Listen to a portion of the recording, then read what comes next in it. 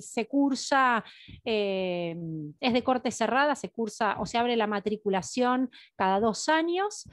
Eh, y ustedes pueden encontrar en la página web, ahí si lo ven, pueden encontrar en la página web de la universidad las dos carreras de maestría que actualmente tiene nuestra institución, que es la maestría en políticas públicas en educación, cuya directora es Alejandra Virgin y comenzó recién con su primera corte el año pasado, y la maestría en formación docente, que ya les decía que estamos eh, hoy por hoy eh, cursando con la tercera corte.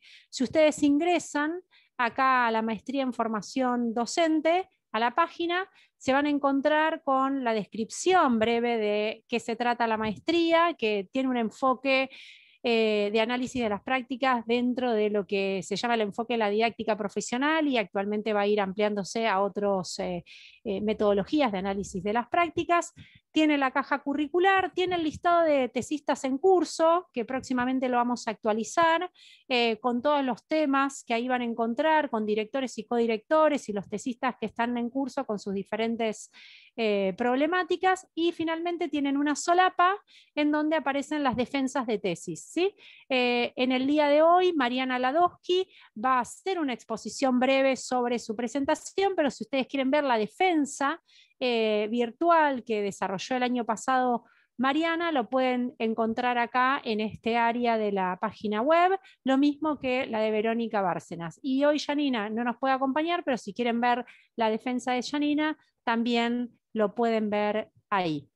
Como les comentaba, hoy nuestras eh, egresadas, Verónica Bárcenas, em, se las presento, ella es maestra especial de música del Bachillerato de Bellas Artes de la Universidad Nacional de La Plata, profesora en Ciencias de la Educación también de la Universidad Nacional de La Plata, especialista en Psicología Educacional con orientación en los procesos de aprendizaje y sus trastornos de la Universidad Nacional de La Plata y actualmente magíster en formación docente por parte de UNIPE. María Ladowski es maestra de nivel primario del Normal 1, profesora de Ciencias Antropológicas, de Filosofía y Letras de la UBA y también magíster en formación docente por UNIPE.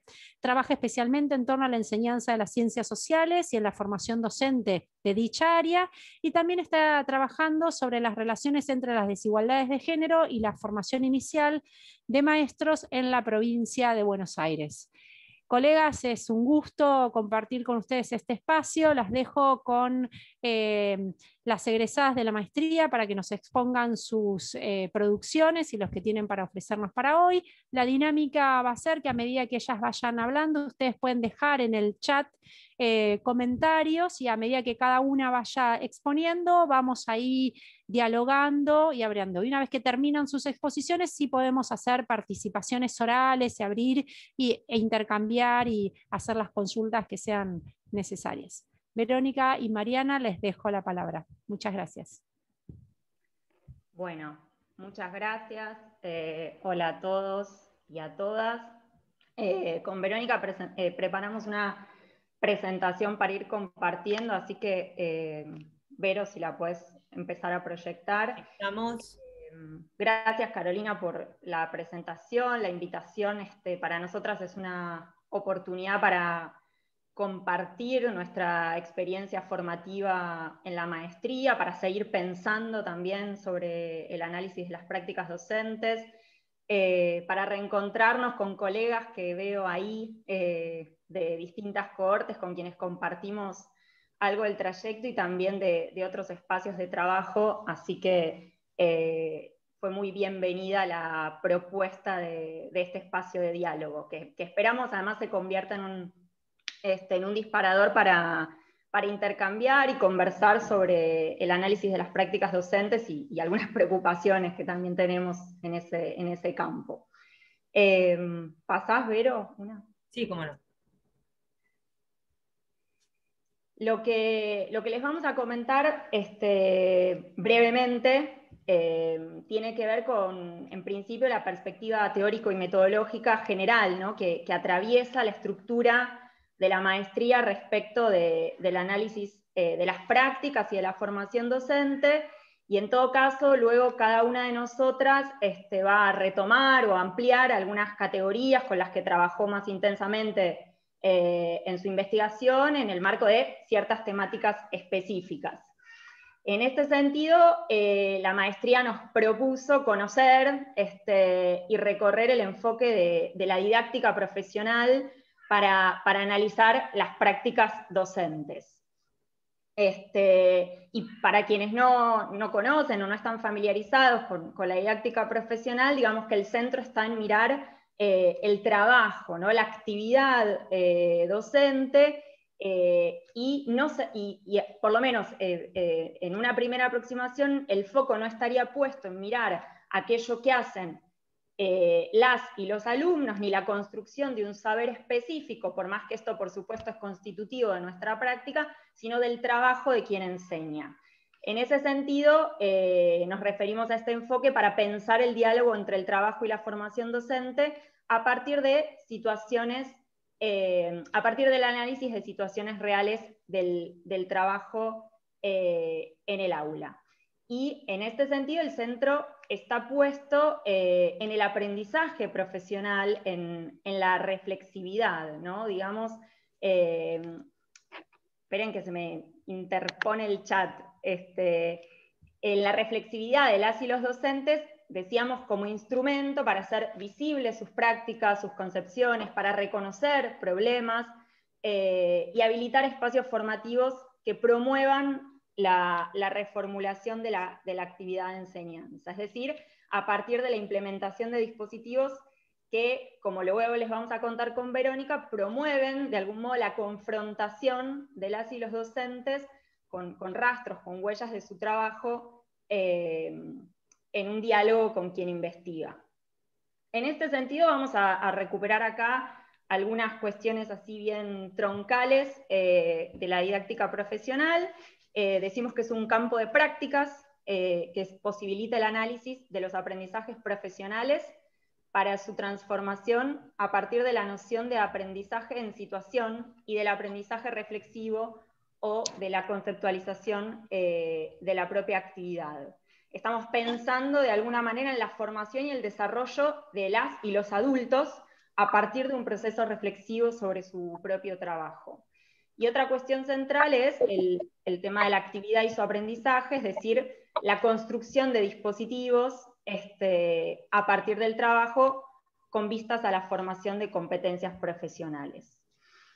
Por otro lado, algo central que, plantea la didáctica profesional y que recupera de, otros desarrollos tiene que ver con la distinción entre estas dos formas de actividad que luego ustedes eh, van a, como volver a escuchar en nuestras presentaciones que tienen que ver con poder eh, diferenciar la actividad productiva y la, actividad constructiva y cómo esta autoconfrontación, este reencuentro dialogado de, las y los docentes con las huellas de su propio trabajo, promueven o permiten eh, transformar algunas maneras de pensar y actuar, de, producir conocimiento, ¿no? Como la vuelta a aquello eh, que se hizo posibilita transformar este, algo de la propia actividad este, y proyectar eh, nuevas situaciones de enseñanza, ¿no? a partir de la reelaboración de lo hecho. Em, bueno. Y, otro de los eh, aportes teóricos y metodológicos de los que se nutre la didáctica profesional tiene que ver con la clínica de la actividad, que nosotras lo, atravesamos en términos eh, metodológicos. No sé si Verónica ahí querés este, retomar. Eh, sí, o sea, plantear que la clínica, la verdad que es la otra corriente que ensambla con, la didáctica profesional desde, desde la psicología ergonómica y que sirve para el análisis del trabajo profesional, ¿verdad? Y acá, bueno, desde la mirada de Klopp, que es este, uno de los representantes más importantes de la clínica de la actividad, aparecen algunos conceptos teóricos muy potentes, que son los que nosotros también nos llevamos a, la tesis, que es el concepto de actividad, ¿no? es decir, eh, de actividad profesional. Es decir, ¿de qué hablamos cuando hablamos de actividad? Eh, la clínica va a poner el foco en el trabajo real y va a partir de ahí, de, un abordaje a través del análisis, querer comprender cómo se transforma esa actividad real, ¿no? Este, y cómo emergen a partir del análisis, bueno, eh, aquellos aspectos que, no son visibles a simple vista, es decir, los, implícitos. Es decir, por actividad entendemos no solo lo que podemos ver, sino también lo que no podemos acceder así este, explícitamente. Entonces, la actividad va a ser uno de los núcleos teóricos sustanciales. Y la actividad y la situación también en el marco de la clínica, ¿no? Y de qué hablamos cuando hablamos de la situación, o que, de qué habla Mayen cuando habla de una situación, eh, está hablando de una zona. Y, nosotros podríamos referir que, que, la clase sobre la que trabajamos y la que nos llevamos al análisis en las tesis son situaciones. Y esas situaciones, bueno, eh, eh, están cargadas de sentido porque ahí se definen los fines que tiene un docente, los propósitos, los obstáculos, y lo, que importa en esa situación de clase es justamente ver cómo, eh, eh, qué, emerge de esa situación y cómo se resuelve esa situación a partir de leer el juego de relaciones de estas que estás eh, abriendo, Mariana, eh, entre lo que uno aprende profesionalmente, entre el trabajo y, la formación, ¿verdad? Es decir, cómo, cómo, cómo emergen en esa situación. Em, otra de las nociones importantes que, que, sustentan el trabajo de la clínica de la actividad es la noción de género profesional y de estilo, que también en las tres tesis atraviesa ¿no? el planteo de las tres tesis. Y el género, bueno, este, es una categoría teórica muy importante porque eh, se expresa como, como dice aquí, como una memoria colectiva que permite comprender, bueno, eh, la actividad de ese docente en situación, pero también comprender la identidad profesional de ese docente en una situación. El género eh, a mí me gusta hacer un, juego de metáfora con, la música, ¿no? que es mi campo específico de trabajo, y yo digo que eh, el género me parece que es como el instrumento que me permite entender qué música está sonando, ¿no? es decir, uno lo, compone en una situación profesional y, este, y lo que nos brinda esta categoría es entender, bueno, justamente cómo juega el, el género en la construcción de las competencias profesionales. ¿no? Y el estilo sería como esa vueltita que, uno le da, este, una reelaboración personal, es decir, sería como las notas singulares que un docente eh, tiene sobre, sobre su propia actividad de enseñanza. No sé, Mari, si querés agregar.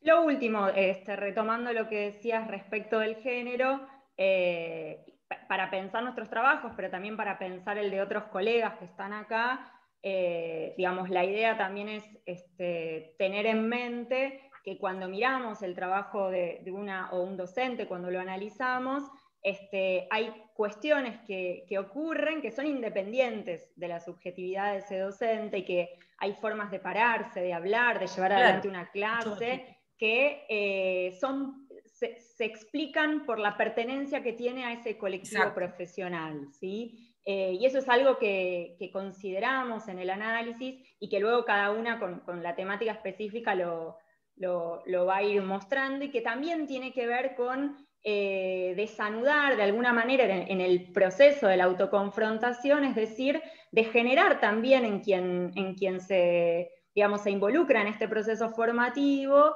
eh, la posibilidad de comprender mejor la complejidad de sus situaciones profesionales, ¿no? y, que, muchas veces están tenidas por el colectivo del que forma parte, ¿no? que tiene características propias según el nivel, según la modalidad, eh, la población con la que trabaja este, también configuran esas situaciones profesionales. Es decir, no estamos mirando docentes eh, independientes y, autónomos más allá de los estilos que por supuesto existen respecto de cómo enseñar. Bueno, eh, en esta presentación así un poco veloz, después cualquier cosa volvemos y, charlamos sobre estas cuestiones, es que eh, desde estas ideas, desde este marco general que, Carolina decía al comienzo, que un poco estructura la maestría, queríamos compartirles entonces algunas cuestiones sustantivas o, importantes de nuestras investigaciones eh, y que luego obviamente podemos abrir y, conversar. Bueno, no sé si escuchan bien, porque yo escucho un poco bajito. ¿Se escucha bien? Bueno. Sí, se escucha bien. ¿eh? Bien. Eh, bueno, yo voy a presentar esta primera la, investigación de la, tesis que hicimos, que se llama Análisis de la actividad docente en situaciones de enseñanza de la música en la educación inicial. Es una tesis eh, que la empezamos, bueno, con la, primera cohorte de la maestría ya por el 2015-16, y en el año 2017 hicimos la, la investigación en el, en el terreno, ¿no?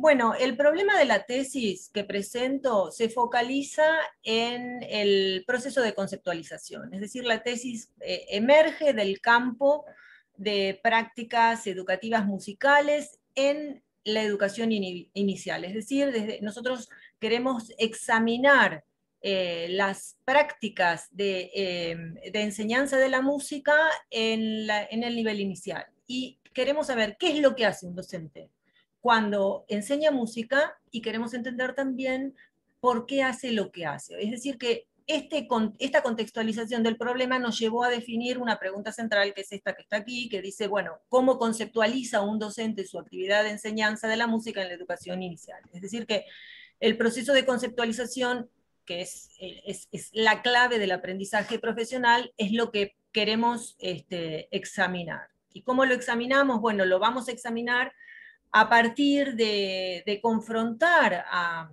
un docente con situaciones específicas, problemáticas de su propia práctica. Es decir, lo que queremos ver a partir del análisis y, del, análisis de esas situaciones problemáticas, cómo van a emerger ahí eh, los conceptos desde el marco de la didáctica profesional y desde la didáctica de la música que sirven para entender qué hace y por qué hace lo que hace. Entonces, eh, en el problema eh, de, abordar y de entender cómo, cómo, conceptualiza, cómo piensa un docente su actividad de enseñanza de la música, retomamos algunas categorías teóricas que fuimos abriendo con Mariana este, al principio de esta exposición. Es decir, una de las categorías centrales, entonces, eh, tiene que ver con entender, bueno, eh, ¿qué es lo, ¿cómo piensa esta distancia entre, lo, entre la tarea y la actividad en este proceso de conceptualización? ¿no? Es decir, cómo emerge en ese examen de su propia práctica la relación entre lo que pensó en una situación inicial, lo que planeó como tarea y lo que sucedió en una situación profesional real, ¿no? Es decir, nos, interesa entender eso, qué pasó. También eh, queremos en el análisis trabajar y entender eh, cuáles son los, la, forma de organización de su actividad de enseñanza, es decir, cómo organiza, cuáles son los esquemas desde, desde su actividad de enseñanza que sirven para guiar su acción y para conducir o gestionar su, su, actividad de enseñanza de la música en el nivel inicial, ¿no? Y ahí aparece esta esta categoría de entender cuáles son los modos de registro, ¿no? Y en este caso, los modos de registro desde los que se expresa la actividad de enseñanza, un registro pragmático y un registro epistémico, tal como lo sostiene Pasteré, que van a articular con, los, con los, eh, las categorías teóricas que se desprenden de los enfoques didácticos de la enseñanza de la música, ¿no? Y aparecen ahí, eh, desde la didáctica de enseñanza de la música dos enfoques didácticos que han sido y son pregnantes en la educación musical, que son el enfoque expresivista y el enfoque tecnicista. Entonces, vamos a cruzar en esta forma de pensar eh, y de entender cómo organiza su actividad de enseñanza de la música en el jardín, bueno, tomando también las categorías teóricas que vienen de la didáctica de la música y que sirven para entender porque hace lo que hace. Em, también nos interesa en el proceso de conceptualización comprender em, qué impacto tiene el género profesional. Tal como decía Mariana, ¿no? Es decir, el, género es lo que le brinda el, marco, ¿no? Es lo que sucede en el colectivo. ¿Qué, ¿Qué, qué, pasa con lo que un docente de música en la educación inicial aprende en su trabajo y qué de esto impacta y se lo lleva a su, y define eh, su actividad de enseñanza. ¿Cómo, ¿Desde dónde lo piensa? ¿Qué tanto eh, le sirve esto para, para poner en juego un proceso reflexivo que lo va a llevar a mover su modelo de prácticas, ¿verdad?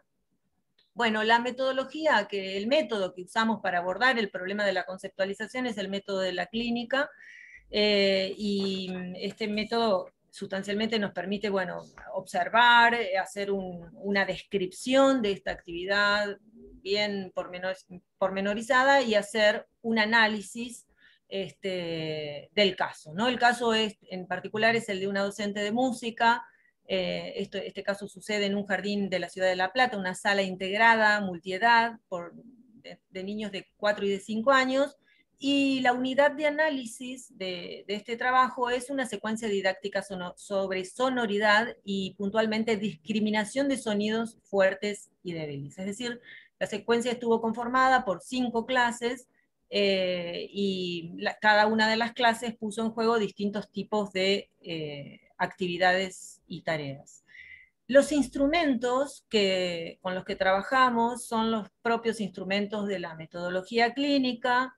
Eh, planteamos una entrevista inicial como primer paso de la investigación y en, en esa entrevista, bueno, nos permitió eh, acceder a la organización didáctica de la propuesta. Es decir, allí pudimos eh, ver cuáles eran los contenidos, qué objetivos este docente tenía en cuanto al aprendizaje de los alumnos o de los niños, qué tareas fueron asignadas, qué materiales y recursos puso en juego y también en esta entrevista eh, pudimos hacer algunas anticipaciones que tienen que ver con posibles obstáculos. ¿sí? Es decir, que ponderamos más que nada rastrear todas esas estrategias, los recursos y, las, posibles este, anticipaciones de lo que iba a suceder después eh, al implementar la secuencia didáctica sobre discriminación de sonidos fuertes y débiles.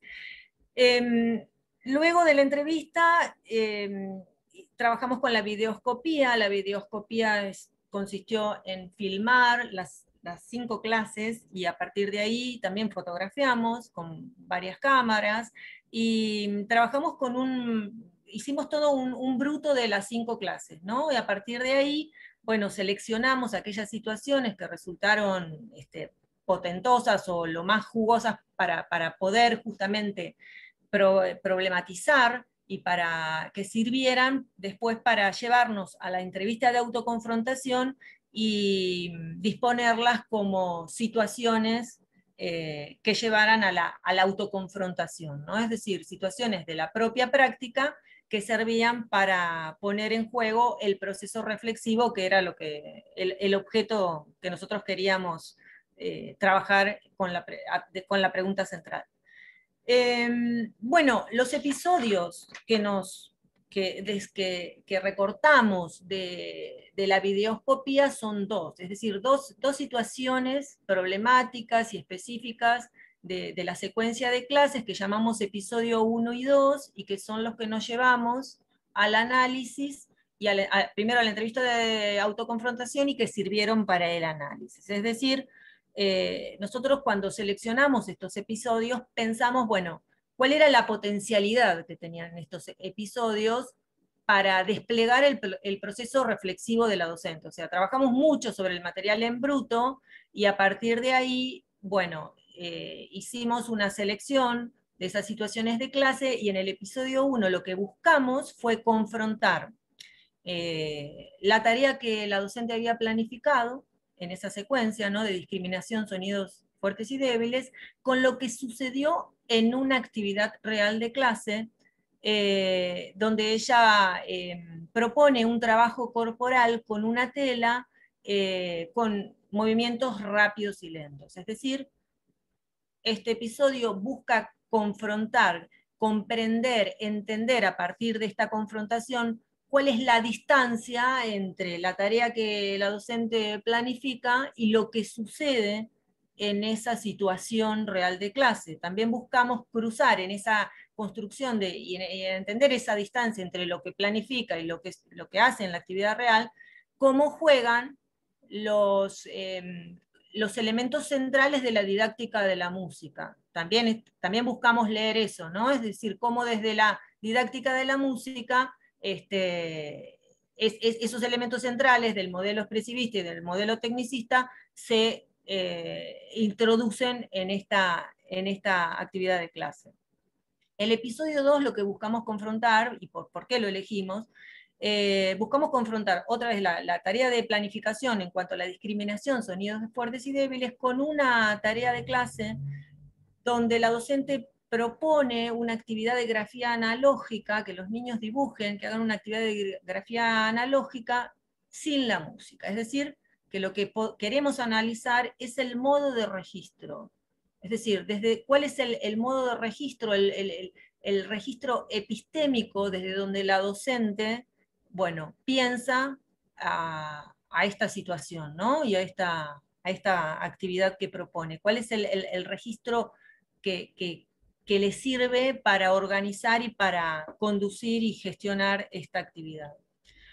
Bueno, eh, en el episodio 1 aparece en la entrevista de autoconfrontación una problematización sobre la organización de su actividad de enseñanza a partir de un esquema de la libre expresión. Es decir, y esto deviene del modelo expresivista propio de la educación musical en el nivel inicial. Es decir, lo que nosotros vemos a partir de las expresiones en la entrevista, eh, que ella eh, reflexiona sobre la anticipación de su intervención, este, reflexiona sobre que hubiese sido interesante no, sugerirlo, no anticiparse tanto, no asignar consignas de manera este, que ella expresa, que es muy, muy verborrágica, sino que requiere eh, consignas más cortas, es decir, que se ve allí que aparece un esquema de su actividad de enseñanza que se estructura sobre el modelo expresivista, ¿no? es decir, donde el juego eh, sería como el elemento que la lleva a, la, a, lo, a, lo, pragmático, el elemento central que le permite pragmatizar todo el tiempo este, el sentido de su actividad. ¿no? Aparece también, bueno, eh, moviliza mucho desde el género los recursos que adquieren propiamente en el trabajo de la educación inicial y aparece ahí el modelo tradicional también presente. Bueno, ¿de qué manera este, potenciar el proceso reflexivo de la docente? Y nosotros nos propusimos generar en esa entrevista de autoconfrontación una postura dinámica, reflexión, eh, eh, donde se pudiera reflexionar y donde en verdad el guion no fuera un guion este, rígido, sino que pudiéramos asumir una postura este, colaborativa, ¿no? Y con lo que surgía en la entrevista. En el episodio 2, bueno, eh, la docente va, dice, va a reflexionar sobre la organización de la actividad a partir de aquellos aspectos que están vinculados al tiempo y los materiales. O sea, toda su, actividad y su acción de enseñanza está estructurada sobre la búsqueda de un esquema de orden. Y cuando decimos búsqueda de un esquema de orden, aparece ahí eh, también una fuerte implicancia del modelo tecnicista en la educación musical para los niños, que es lo que le permite poner el peso en las cuestiones que tienen que ver con, el tiempo y con los materiales. Eh, entonces eh, vemos cómo emergen desde, desde la didáctica de la música, esos elementos sirven en el análisis para entender que la organización de su actividad de enseñanza se estructura sobre estos, estos contenidos de, la didáctica de la música. Em, bueno, en el proceso de conceptualización de la docente Deis, ¿qué le posibilitó este proceso a ella? Bueno, le, permitió reconocer que aparecen dos grandes esquemas organizadores en su práctica. Y estos dos grandes esquemas son los que, sobre los que despliega estos modos de registro eh, todo el tiempo pragmático y epistémico, ¿no? Es decir, un, un, esquema sobre lo que busca el orden de la clase y un esquema que, desde el que promueve la libre expresión. Dos esquemas ciertamente, eh, en algún punto, hasta antagónicos, ¿no? ¿Qué le permitió también el proceso de conceptualización? Le, permitió visibilizar el impacto que tiene el género profesional respecto de enseñanza de la música en la educación inicial. ¿no? Y esto es muy pregnante y aparece ahí en ese género del educador musical en el nivel inicial una fuerte, un fuerte impacto de, la tendencia expresivista eh, en torno a la construcción de la identidad de ese, educador musical, y también tecnicista. Estos serían como los dos enfoques de la didáctica específica que impactan sobre la construcción de su identidad profesional. Em, en este proceso reflexivo sobre su propia práctica, también aparece un reconocimiento desde una dimensión productiva. Es decir, en esta confrontación con un problema eh, práctico y específico de su práctica, em, se observa que hay todavía una, una, reflexión que se asienta sobre un conocimiento operatorio, es decir, es una, reflexión que todavía está ahí en una dimensión muy productiva con vistas, avances hacia un plano que tiene que ver más con un plano representativo y que pone en juego un conocimiento predicativo. Aparece también en este proceso de conceptualización eh, una, marcada, una, marcada posición subjetiva, ¿no? es, decir, donde ella este, todo el tiempo está leyendo eh, la práctica desde una posición subjetiva y social eh, que define a su aprendizaje profesional. Em, ¿Cuáles son los aportes del estudio en clave desde la didáctica profesional? Y bueno, yo creo que uno de los, de los aportes para pensar eh, el campo de las prácticas y el análisis de las prácticas tiene que ver con la articulación entre formación continua y docente e investigación. Lo que quiero decir es que la investigación es una pata sustancial de la formación docente. ¿no? Esto genera ruptura en la mirada de pensar a la práctica desde un modelo de la tradición, en esto en tanto desde una mirada descriptiva, desde una mirada este, como el extranjero de la práctica, sino que la investigación nos brinda justamente eh, la posibilidad de crear dispositivos conjuntos que puedan posibilitar al docente un análisis reflexivo de, estos conocimientos que van emergiendo de sus propias situaciones, eh, con vistas a la, transformación de sus competencias profesionales. Es decir, eh, no hay aprendizaje profesional sin conceptualización. La conceptualización es la llave del aprendizaje profesional y, de la transformación de ese modelo de práctica. ¿no? Eh, bueno, algunas futuras investigaciones o algunos interrogantes que nosotros nos hacemos tienen que ver con pensar, bueno, cómo impacta la formación docente en arte música en la práctica profesional en la educación obligatoria. Esta es una pregunta que nos hacemos desde la formación docente en arte. Eh, de qué manera los docentes en arte música conceptualizan su actividad profesional con vistas a la autonomización en la educación obligatoria, y qué saberes producen los docentes de arte música acerca de y sobre su práctica profesional. Es decir, que en línea futuras de investigación quizá este, estas preguntas pueden servir como disparadores para, para ampliar este estudio, que es un estudio eh, cuyo límite tiene que ver con, que es un estudio de caso, eh, pero que, bueno, el análisis nos permite pensar que, a partir de la didáctica profesional podemos este, ampliar hacia futuras eh, líneas de investigación.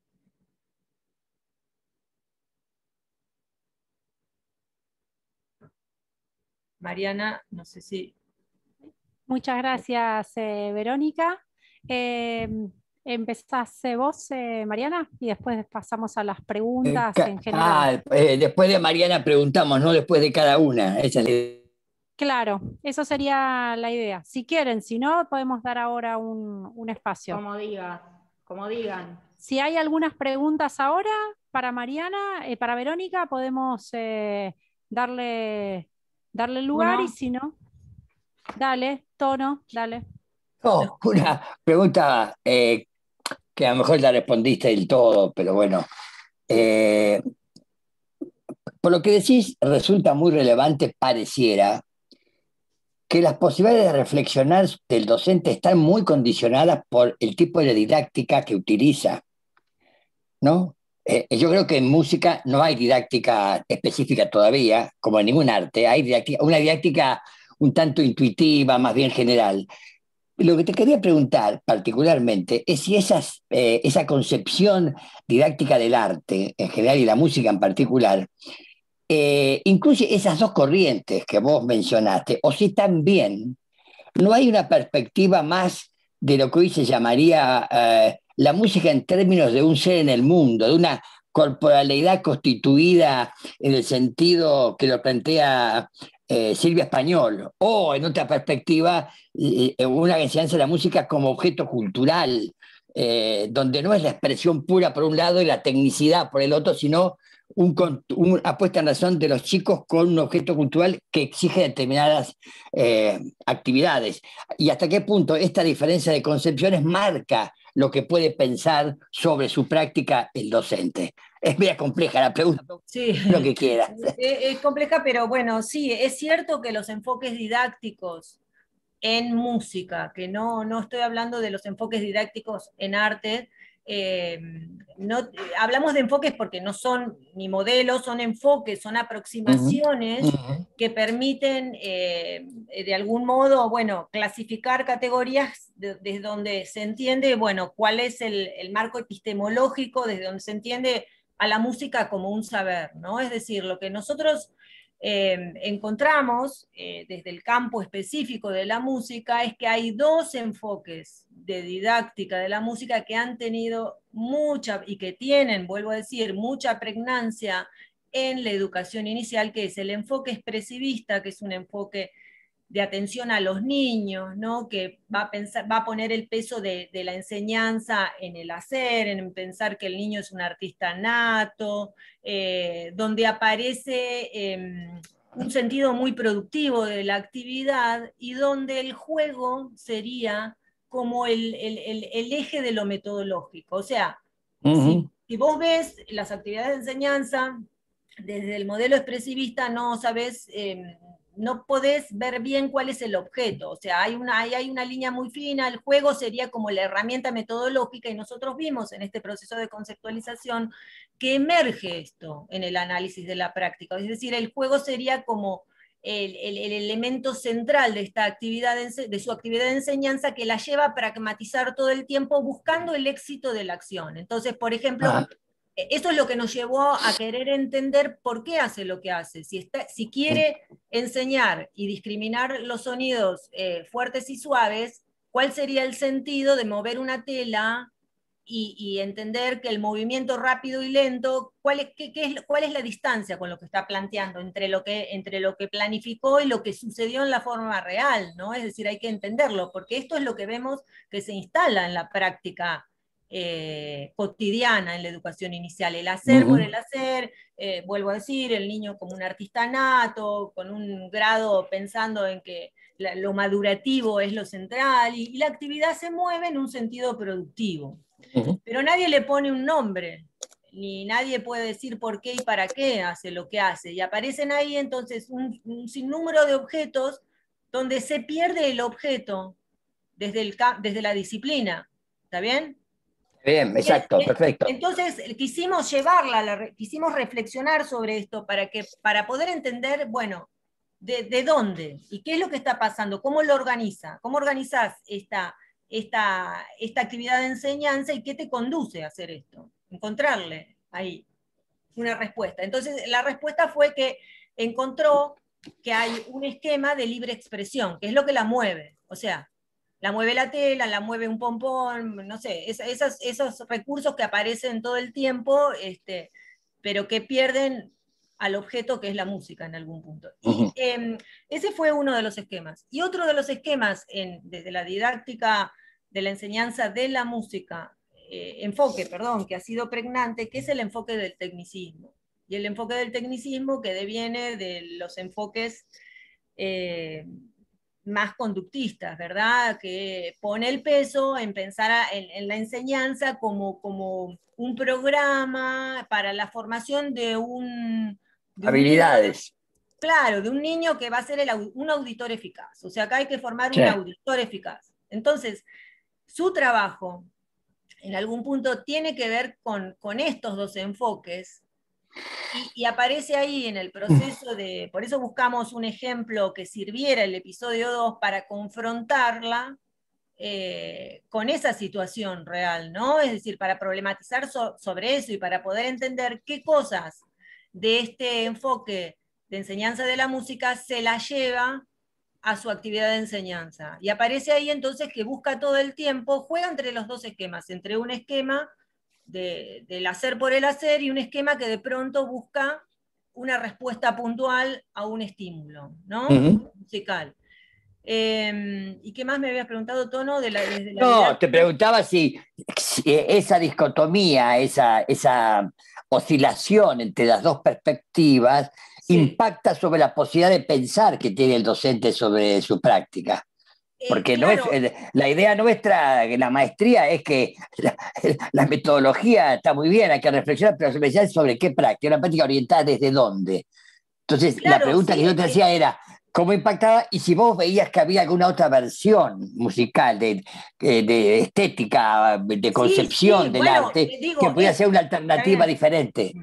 Claro, claro que sí, o sea, o sea, estas dos versiones que están instaladas y que forman parte de la matriz de la educación inicial, son las que instalan esas prácticas que no tienen un porqué y para qué, en el versus los enfoques contemporáneos o los enfoques críticos constructivistas, desde donde entienden al arte como un modo de conocimiento. Es decir, el punto es que estas son las prácticas que emergen y que sin análisis de estas prácticas no salimos, porque terminamos todo el tiempo reproduciendo, o sea, no hay transformación del modelo de la práctica del educador musical sin análisis y sin reflexión sobre eso, entender, bueno, cuáles son las categorías y cuáles son, qué cosas me traigo desde la didáctica y que me sirven para transformar el modelo de mi práctica y qué cosas vienen de, lo que yo aprendo, de, me traigo de la formación y del trabajo mismo en, en el nivel inicial o en la educación inicial, porque este, está muy atravesado por las definiciones del género profesional. Esto, el género tiene,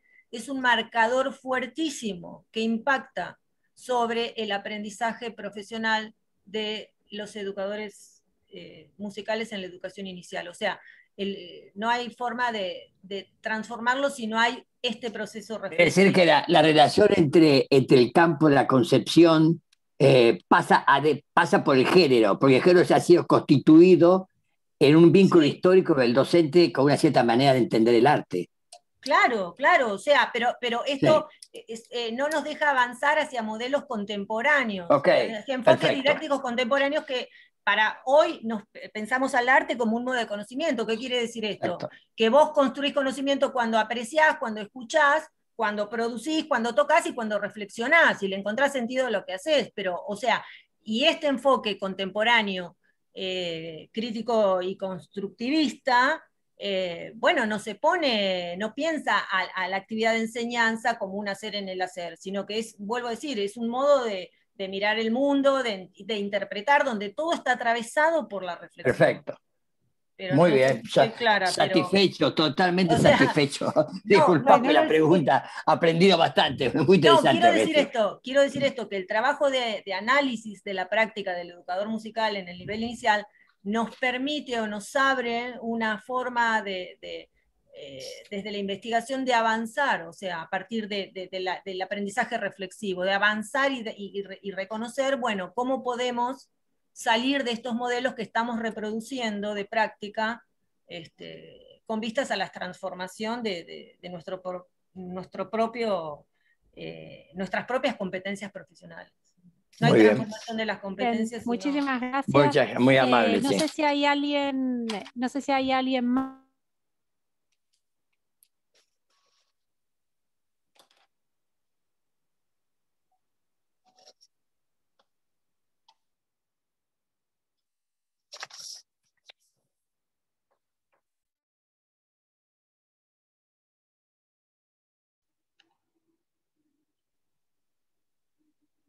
No sé si se cortó o soy yo. No. Ah, me parece que el, es, el de Carolina. Se le cortó a Carolina. Ah. Mari, vos decime y yo te voy pasando, ¿verdad? Dale, no hay problema. Pero espero a que Carolina vuelva, no sé, o, o si alguien más quería intervenir antes de arrancar. Si no, querés empezar y después... ¿Arranco? ¿Tono? No te oigo. Dale, quiero decirte, dale, disculpa que me meta, pero sigamos avanzando. arranco. Bueno, em, como ven, em, lo que voy a compartir es un, pedazo, algunos fragmentos de, lo que fue el proceso de la investigación, que se llamó Prácticas de lectura para enseñar didáctica de las ciencias sociales en la formación inicial de maestros, pensar el trabajo docente desde la didáctica profesional y en ese sentido, la tesis este, articula, eh, forma una trama entre los aportes de, la didáctica de las ciencias sociales y sobre todo centrados en las prácticas de lectura para pensar la formación de docentes y de la didáctica profesional para pensar el análisis del trabajo docente. El problema, y, yo pongo ahí los problemas que me llevaron hasta ahí, porque el problema de investigación se, configura y se construye en torno a varios otros problemas eh, que yo venía transitando, que me venían interpelando de, mi experiencia y del intercambio entre pares en la formación inicial, y que por supuesto también se inscribe en, un debate más amplio que, se da este, en la formación y, en la investigación. Este, tiene que ver con las prácticas eh, de lectura que están muchas veces instituidas y que, como decíamos recién, eh, a veces se explican o, se justifican de alguna manera por, este, por este colectivo, por este género profesional, que se dan en la formación inicial de docentes. Eh, y, un poco la, la, tensión que se da en la didáctica de las ciencias sociales es, bueno, cómo trabajar con esta cantidad y multiplicidad de textos que, aparecen en la formación para acompañar a nuestros estudiantes eh, en la construcción de conocimiento a partir de la lectura y también en la adquisición de autonomía este, respecto de la lectura, que muchas veces se supone es algo saldado o aprendido por tratarse de estudiantes eh, del nivel superior. En este sentido, la tesis, yo ahora no lo voy a desarrollar, pero tiene eh, un, posicionamiento y, hay varias reflexiones respecto de, la alfabetización académica y de la lectura como práctica epistémica, que es el marco desde el cual nos paramos para, mirar estas prácticas. Y eh, en el caso de una didáctica específica que además transita una tensión bastante fuerte entre la enseñanza de, los contenidos, de los, eh, saberes disciplinares y de los saberes didácticos. En este sentido, lo que, lo que yo voy a mirar y cómo se configura el problema tiene que ver con la relación entre la lectura y la construcción de conocimiento social en la formación de docentes, eh, y se centra en la formación docente de quien lleva adelante el trabajo de enseñar didáctica a las ciencias sociales. Eh, como les decía, no voy a mirar ni especialmente la actividad de las y los estudiantes, ni, el objeto de la didáctica de las ciencias sociales, sino el trabajo de la profesora este, con quien llevé adelante eh, la investigación. Y que como decía Verónica antes, eh, digo, decirlo varias veces porque eh, me parece que también lo interesante es mirar cuáles son estos vínculos fructíferos, este, eh, ricos entre docencia e investigación, ¿no? que también es un poco la, apuesta de la maestría. Nos formamos como formadores y qué lugar ocupa la investigación para propiciar el análisis de las prácticas docentes y mejores prácticas docentes. El caso con el que trabajé tiene que ver con el de una docente en un profesorado de educación primaria en la ciudad de Buenos Aires, en la materia eh, enseñanza de las ciencias sociales 1, es decir, se trata de una primera aproximación de este grupo de estudiantes a, esta didáctica específica. Y como decía Verónica, la unidad de análisis es eh, digamos, el, el recorrido por una secuencia didáctica, en este caso tuvo que ver con una propuesta que armó la profesora respecto de la Revolución de Mayo y su enseñanza en la escuela primaria, que articula en esta tensión que tenemos en las didácticas específicas, por un lado, el estudio de este proceso histórico ¿no? y el propósito de que eh, las y los futuros maestros puedan desandar algunas eh, versiones tradicionales, patrióticas sobre, sobre la, la, historia nacional, muy vinculadas a sus experiencias como estudiantes a lo largo del sistema educativo, y a la vez que puedan pensar la enseñanza de ese proceso revolucionario. Este, mm, eso, gracias. Em, como les contó antes también la compañera, primero hicimos eh, dos entrevistas iniciales este, para conocer la, propuesta de, la docente. Eh, no me voy a detener allí, pero nos permitió anticipar varias cuestiones respecto de lo que luego pude eh, observar, de una secuencia de seis clases que se extendió durante mucho tiempo por un conflicto este, docente en la ciudad de Buenos Aires durante el 2018. Eh, y luego de eso, lo que hicimos fue compartir con la profesora una entrevista autoconfrontación, eh, a partir de la cual trabajamos, por un lado, con aquellas cuestiones que ella espontáneamente, releyendo su propio trabajo, encontraba como problemáticas, y eso fue interesante eh, porque justamente se, ella misma pudo encontrar en su práctica cuestiones que le resultaban este, inquietantes y que le interesaba volver a pensar, y también con la selección de dos episodios que yo le, propuse volver a escuchar este, para trabajar. Estos dos episodios tienen que ver con, con situaciones que denominamos eh, recuperando los desarrollos de Delia Lerner, situaciones de doble conceptualización que se trata de, de, situaciones profesionales donde hay un doble objetivo, ¿no? Por un lado, construir conocimiento sobre ese objeto y por otro lado, que a su vez los estudiantes y las estudiantes puedan construir conocimiento referido a su enseñanza, ¿no? a las condiciones didácticas eh, que son necesarias para que luego alumnas y alumnos de la escuela primaria puedan aprender ese objeto de conocimiento. Entonces, el primer episodio que seleccionamos tuvo que ver con eh, una situación de clase en la que la docente les propone una lectura primero individual y luego un intercambio sobre un texto que se llama Los Vencidos de, de Bastel, y el propósito de la docente tenía que ver con enseñar sobre lo que conocemos como la multicausalidad eh, en los procesos históricos. Em, el texto versa sobre las causas de por qué los españoles logran vencer a los pueblos originarios en aquellos territorios donde efectivamente eh, logran vencerlo. Eh, a lo largo de la entrevista, la docente va escuchando, releyendo el episodio de la clase y, pasa algo que, es interesante, que es que no se acordaba algunas cosas que había pasado y cuando se las reencuentra eh, la sorprenden, eh, vuelve a pensar sobre aquello que ocurrió y una cuestión muy importante que, que ocurre es que ella, como digo ahí, a partir de esta huella de su propio trabajo, identifica saltos u omisiones que ella misma hace respecto del conocimiento histórico que está presente en el texto. Es decir, como ella quiere enseñar sobre la multicausalidad, no se detiene a explicar las distintas causas de por qué los españoles vencen, dónde vencen, pero a lo largo de, la escucha del episodio, ella se da cuenta que los estudiantes no están pudiendo organizar la multiplicidad de causas ni jerarquizarlas porque no las conocen. Y ahí aparece, eh, en esta autoconfrontación, aparece esta concepción que ella tiene sobre la lectura, que es una concepción interactiva, constructiva, donde ella sabe que los conocimientos que eh, las y los estudiantes tienen son importantes porque les permiten o no percatarse de ciertas ideas, ¿no? construir ciertos conocimientos.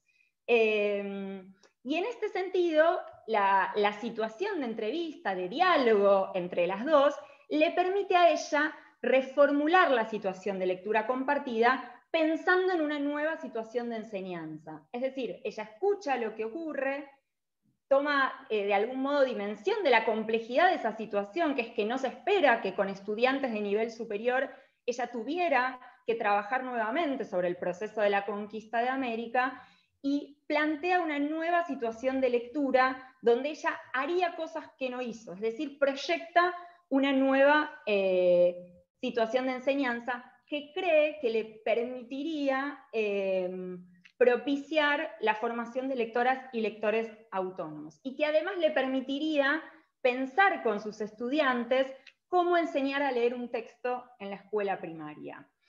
Eh, y como les decía recién, el episodio le permite visibilizar ¿no? la complejidad de esta situación profesional que tiene propia del nivel superior, donde muchas veces eh, sabemos que las y los estudiantes se encuentran con cantidad de textos que pocas veces se leen en el aula, ¿no? Y que es a veces la lectura en el aula la que nos permite conocer las interpretaciones eh, de nuestros estudiantes. Brevemente comento de qué se trató el segundo episodio. Espera, volví un cachito para atrás.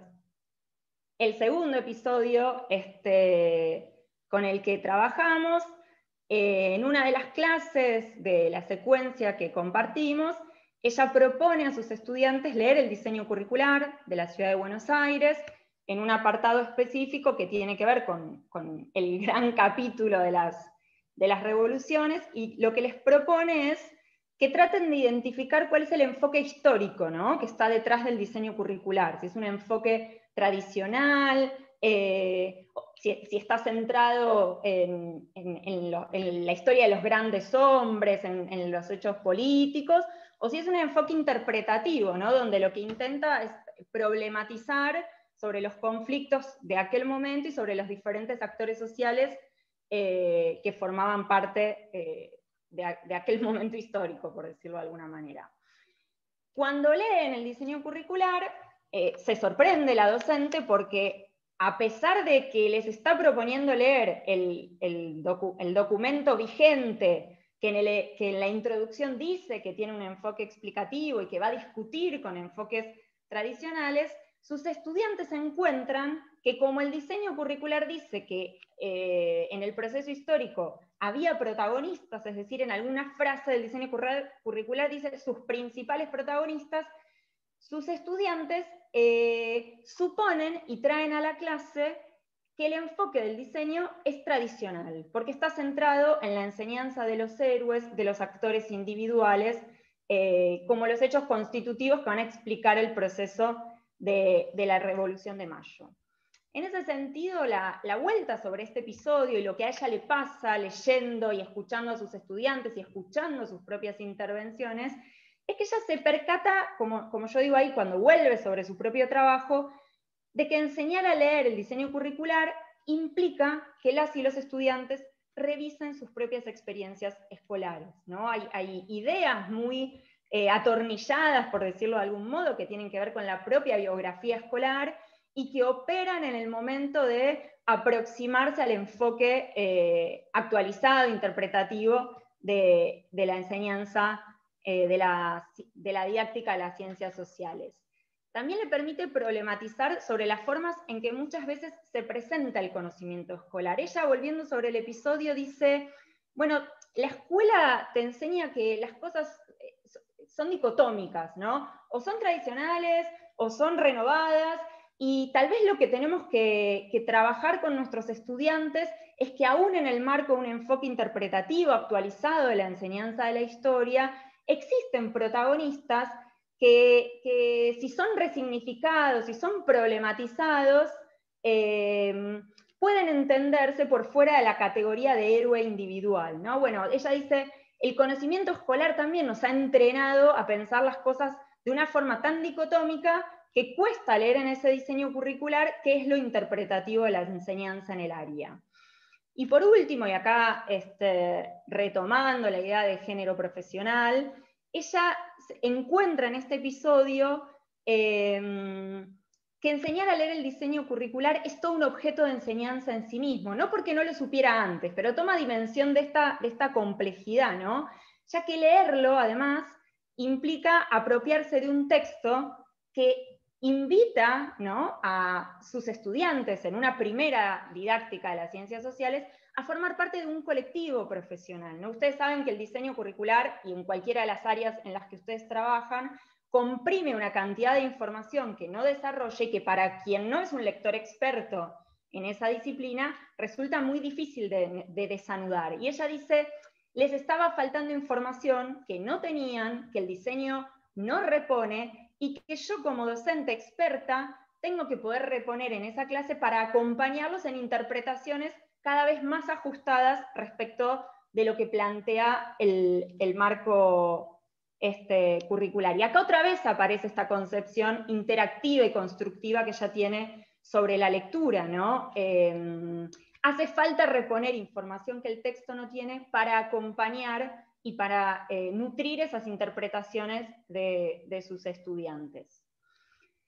Algunas conclusiones que, sacamos a lo largo del, proceso de investigación, y yo las este, las dividí en dos partes eh, solamente para organizarlas mejor, eh, pero algo importante que me gustaría decir es, sabemos que eh, un caso no permite ¿no? hacer generalizaciones, y esto es importante porque estamos trabajando con estudios de caso.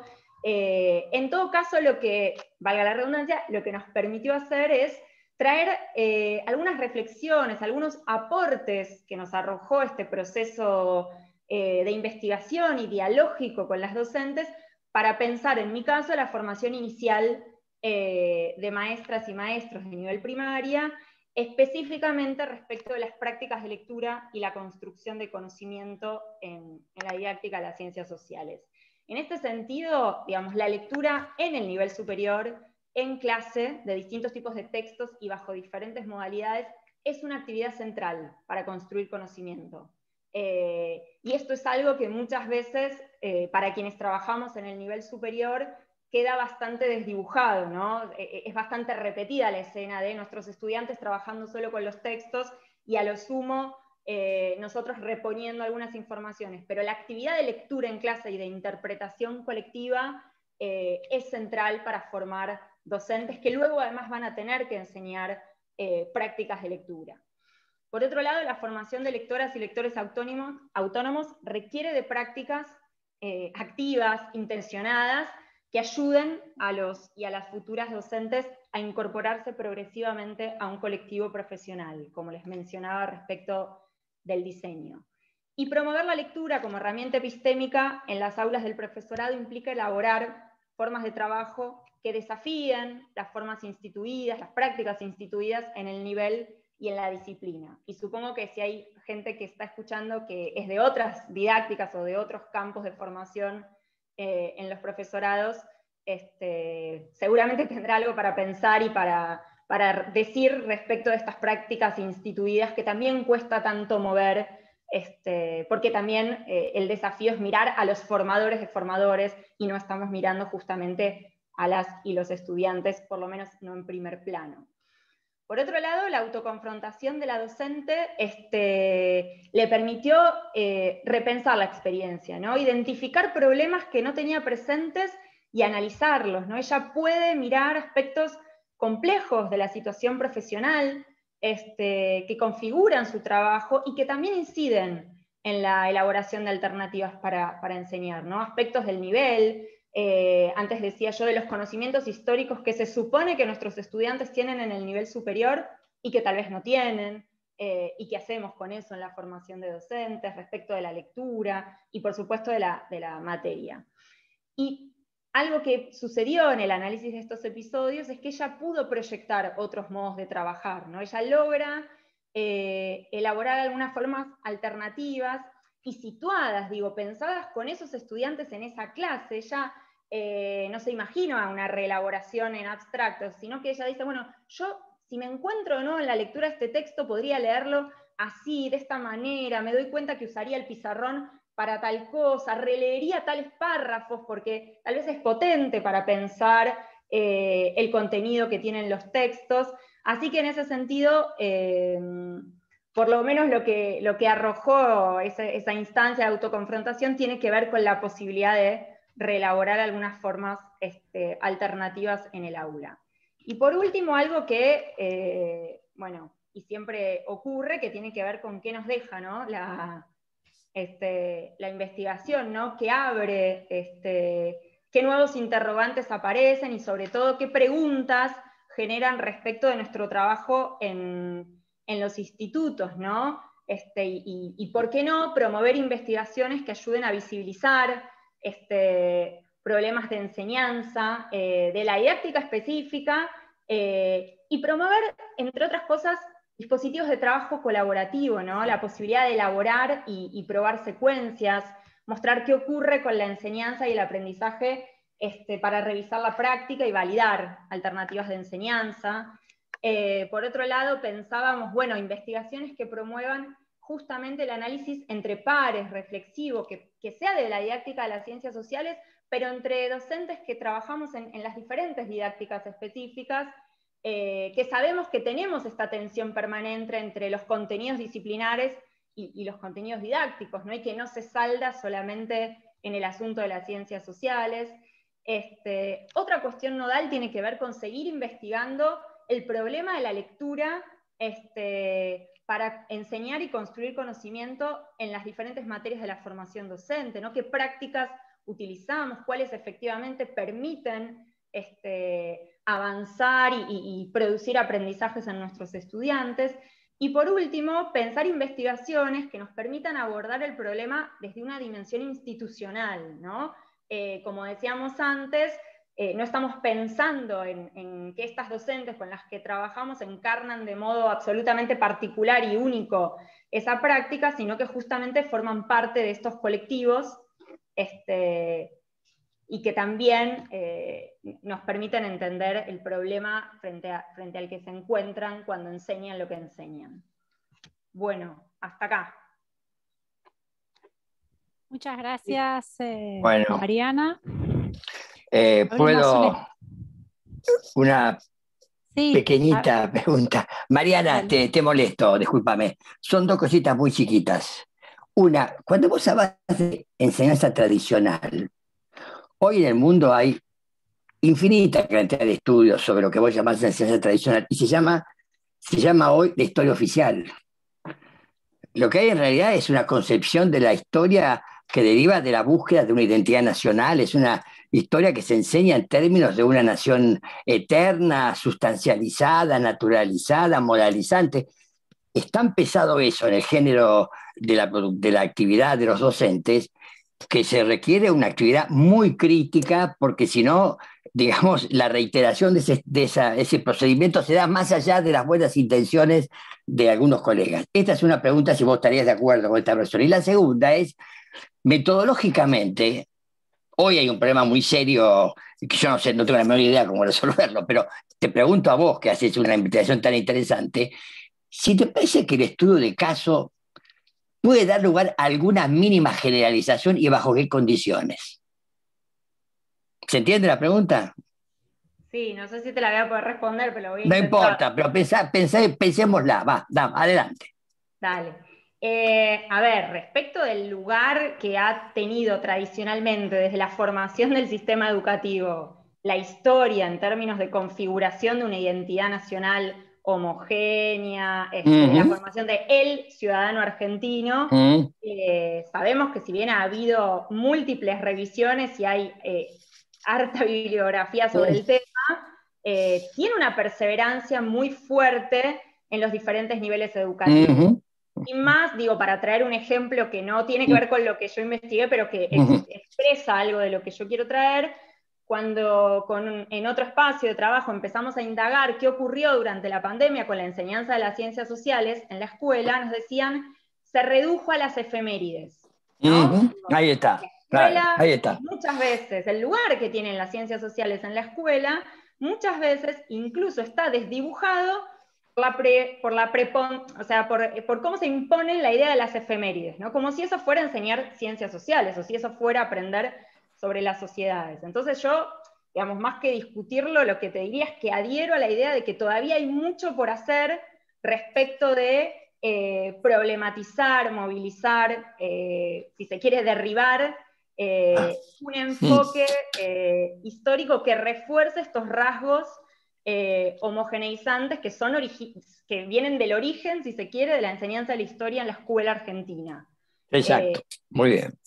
Y digo, estudiantes que se están formando para ser maestras y maestros en el 2018 traen de su, evidentemente, de su recorrido previo al profesorado, cuestiones muy arraigadas respecto de la identidad nacional, este, que además está como enlazada directamente como si hubiera una causalidad especial con el proceso de la Revolución de Mayo, y ahí hay mucho para discutir, eh, porque es como mirar la historia con el diario del lunes. Eh, creo que ahí hay mucho para trabajar y me parece que la investigación a la docente eh, le permitió volver a mirar la complejidad de este asunto, ¿no? Cómo las concepciones ¿no? y, los saberes que tenemos intervienen en, este caso, en lo, que, en lo que yo me dediqué a mirar, en los procesos de lectura que hacemos. ¿no? Las ideas, el marco previo con el que un lector se aproxima a un texto justamente condiciona aquellos sentidos, aquellas interpretaciones que pueda hacer respecto de lo que lee. y si mi marco previo está teñido por la idea de que la historia nacional se explica a partir de la acción individual de algunos grandes hombres, bueno, probablemente ese conocimiento eh, interviene en la interpretación que puedo hacer del diseño curricular. Eh, para mí ahí, más que preguntas, hay, mucho para hacer, hay mucho ah. para trabajar, en todos los niveles educativos, por supuesto. Em, respecto al estudio de caso, y digo lo que, lo que me parece, lo que voy pensando, y tal vez Verónica también este, tiene para aportar. Yo decía antes de empezar las conclusiones y que lo, lo charlábamos mucho con Beatriz y, Liliana, que fueron quienes dirigieron la tesis y me acompañaron. Em, bueno, yo no me atrevería a decir que un caso permite generalizar. Sí me atrevo a... porque además eh, hay que ver qué caso, ¿no? Eh, cómo se elige el caso para hacer una investigación, cuál es el caso tal vez más potente eh, para producir algún tipo de conocimiento a partir de las reflexiones de ese docente, ¿no? Si el caso es un docente que, adhiere con mi perspectiva didáctica, si es un docente que está muy alejado de lo que yo eh, pienso respecto de la enseñanza de las ciencias sociales, digamos, e, el caso en sí es un problema. sí digamos, no cualquier caso arroja cualquier análisis ni cualquier conclusión. Entonces, en principio no me atrevo a decir que permite hacer generalizaciones. Eh, sí creo que, nos permite o nos devuelve algunas, eh, algunas reflexiones respecto de la práctica, en este caso, de, formar docentes y que, y que nos permiten dialogar con otros docentes en formación. Em, me acuerdo incluso en la defensa, eh, esta fue una de las preguntas que me hacía Isabelino Siede como jurado, ¿no? Bueno, cuando estudiamos, cuando hacemos estudios de caso, bueno, ¿cómo seleccionamos el caso? Eso es bien problemático, porque cada caso eh, también puede producir reflexiones muy distintas. Em, yo lo, que diría es que en todo caso es un insumo que nos permite pensar la formación de docentes, eh, nos permite mirarnos, porque como decía, los problemas que ella encuentra en la enseñanza y en su práctica no son individuales, ¿no? forman parte de el trabajo en el nivel superior y, recién leía en el chat, bueno, esto pasa también en otro lado, digo, me parece que nos permite espejarnos, este, reflejar algo de los problemas que tenemos cuando enseñamos. Eh, no sé si contesta, en barra, Sí, sí, yo adhiero a lo que estás diciendo en, función de que el caso no representa, este, pero sí genera en uno, este, en el investigador, bueno, una, una ruptura, ¿no? Es decir, este, es una capa, el caso es, como una, una, capa, es un corte que, que te permite, bueno, comprender este, un, un, caso en un contexto, ¿no? Este, y que te permite también abrir otras preguntas este, que te las llevas a, tu rol de investigador y, de formador de formadores, ¿no? Es decir, a partir de lo que emerge en el caso de estudio que, nosotros trabajamos, y si bien es una tesis, bueno, que tiene mi autoría, en esta tesis intervienen preguntas con equipos con los que trabajo y que me he formado y con los que recorremos el territorio todo el tiempo, ¿no? Este, que son mis colegas y, los equipos con, los que formamos parte. Esto no son preguntas que emergen de manera en uno individual, sino que uno va compartiendo todas estas, estas cuestiones con otros, este, pero que te llevan a, delimitar un problema, ¿no? Es decir, y, y este problema, bueno, este, tiene un análisis en función del caso, pero también sirve eh, para, generar rupturas en tu posicionamiento como investigador y como formador de formadores. Al menos este, a mí me pasó eso, es decir, me cambió la posición en, la formación, ¿no? Es decir, el caso abrió en, mi posición como formador de formadores eh, otras preguntas para pensar, bueno, qué hacemos en la formación docente, por qué hacemos lo que hacemos en la formación docente, ¿no? Es decir, cómo, eh, cómo este, potenciamos este aprendizaje reflexivo con los futuros este, formadores, cuál es la, relación, cómo pensar la relación con, el saber, cómo, cuál es el marco epistemológico desde donde uno se, se, relacionan estos estudiantes con el saber y cómo, cómo se construyen esos objetos o esos saberes a ser enseñados. O sea, ese, el caso me llevó a todas esas preguntas. La reflexión como dispositivo, me pareció que, es el, el, dispositivo central para la formación. No, hay, no, no, hay, no puedo pensar eh, hoy la formación si no es a través de poner en juego este, un proceso de aprendizaje reflexivo, ¿no? sobre entender este, eh, por qué hacemos lo que hacemos. De hecho, cuando vamos... Bien. Está muy bien, yo creo que está muy bien todo. Digamos, me gustaría que pudieran hablar otros colegas, yo ya no pregunto más. Está muy bien, muy interesante, la verdad. No, yo, Carolina. Eh, sí, no, voy a ahora leer algunas intervenciones. Lo único que quiero señalar, me parece que el tema de... Eh, desde el punto de vista metodológico, el planteo del alcance de los estudios de caso es un tema que necesitaría como un encuentro específico para poder analizar eso. Sí me parece que algo relevante es reconocer que em, el análisis de ciertas prácticas que se definen en sí mismas como prácticas complejas necesitan abordajes cruzados de perspectivas eh, eh, digamos, más macro y también de perspectivas micro, que es lo que eh, ofrece el análisis de caso, de ver cómo se arraigan, ya sea políticas educativas, ya sea condiciones institucionales, ya sea marcos regulatorios de las prácticas, que hace que uno permita comprender. En un eh, en un sujeto que uno está analizando, que es un ser humano con la complejidad que tiene de no poder ser estandarizado y cómo se inscriben las regulaciones de un campo laboral como es el, campo docente. Entonces, me parece que al estudio de, de caso hay que pensarlo que es una de las vías por las cuales uno quiere abordar la complejidad multideterminada de varias dimensiones, micro, meso y macro, que están en juego ahí, ¿no? Eh, te, agrego, Carolina, que es el, problema del contexto.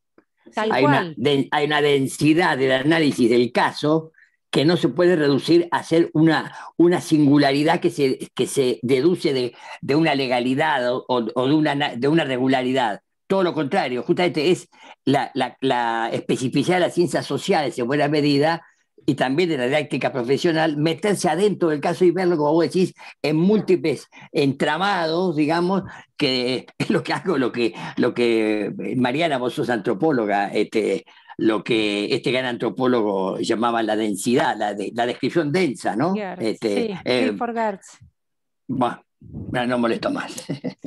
Bien, paso a leer ahora algunas intervenciones que hubo, que es, eh, Aide nos planteaba lo relevante, que era promover espacios y comunidades entre docentes e investigadores para trabajar y dialogar, conceptualizando y haciendo visible lo que subyace en la práctica real de los docentes para poder transformarlas son espacios súper interesantes, nos planteaba. Graciela decía, es interesante acompañar la lectura de los diseños curriculares en el profesorado. Es un texto muy particular y complejo, para hacerlo solo en todas las áreas pasa lo mismo. Claudia González, frente a la pregunta de Mariana en torno a si esto pasaba en otras áreas curriculares, decía que sí, que en el área de geografía estaba totalmente eh, de acuerdo con lo que vos estabas planteando. Celeste nos decía que es fundamental el análisis profundo de los diseños curriculares, coincido plenamente, así también el marco general de eh, la política curricular es el marco madre, y Graciela nos plantea, como en matemáticas, esto venía de una conversación, eh, Mariana, creo que estás eh, respondiendo algo de tono sobre el uso de las efemérides y el reduccionismo que había, eh, que decía, como en matemáticas, lo importante es aprender a resolver cuentas. ¿sí? Esto es más o menos lo que pasó en el chat. No sé si hay interesados del público de poder hacer alguna pregunta oral.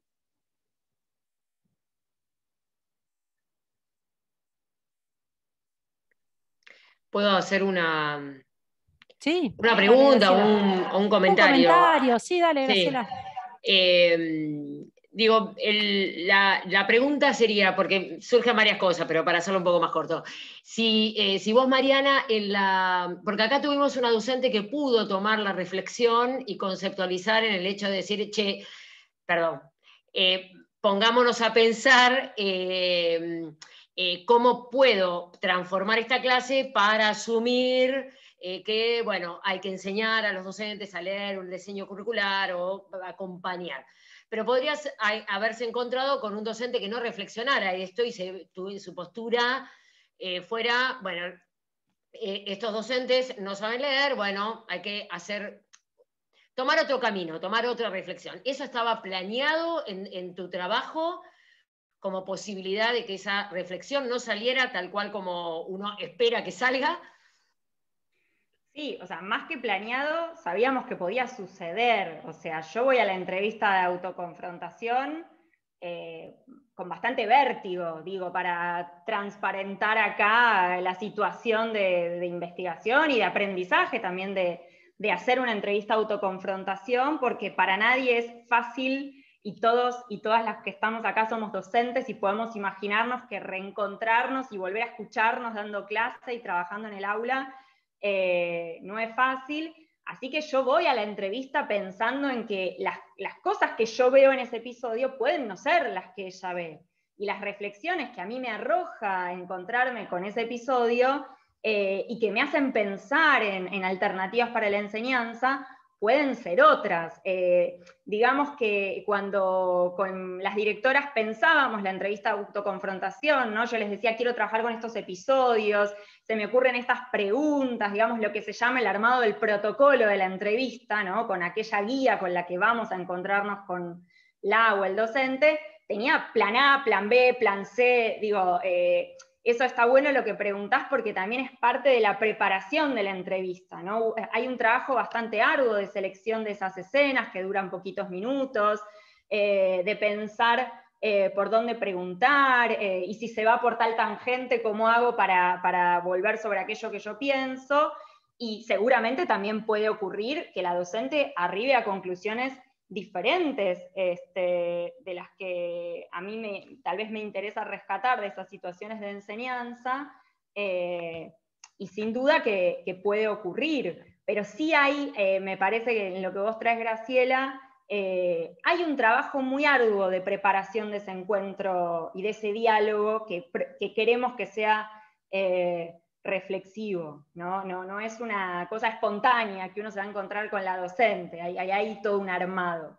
Este, sí, y me imagino que también de tensión, porque, bueno, uno, por más que no quiera, digo, va con ciertas expectativas o, o quisiera que pasaran algunas cosas que quizás pueden pasar o no, que pueden coincidir con vos o no en cuanto a concepción, digamos, más allá de que como investigador hay que tratar de ser lo más sí, eh, este, hay que estar posible, ¿no?